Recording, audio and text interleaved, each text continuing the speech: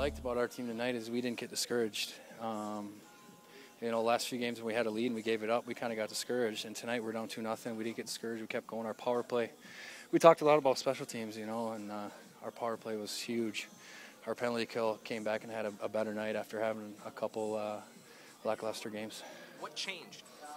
I, you know, I think mindset was big. I think, you know, comes to a point. I mean, you want to win every night, obviously. I mean, guys in this room hate to lose, but um, finally, it's enough's enough, and we're tired of scoring one goal and, and tired of giving up uh, goals on the penalty kill, and and um, you know, I think it's just a mindset tonight, and, and we came out and showed that, you know, that we can score, and um, that we can uh, come back, you know, on teams, and I think uh, that's good going forward. But you know, it's it's one game it's a good start, but in this league, if you want to be successful, you got to be consistent.